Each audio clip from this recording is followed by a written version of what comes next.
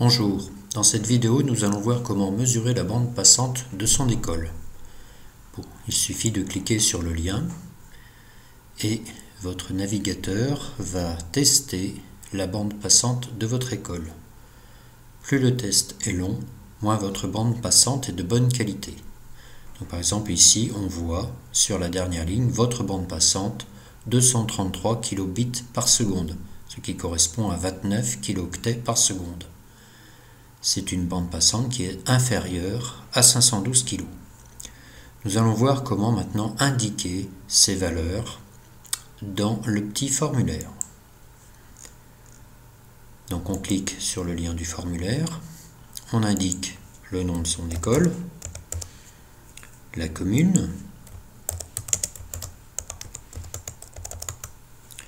la mesure en kilobits par seconde, nous avons vu 233, en kilooctets par seconde, 29 kilooctets par seconde, ce qui nous donne une bande passante inférieure à 512.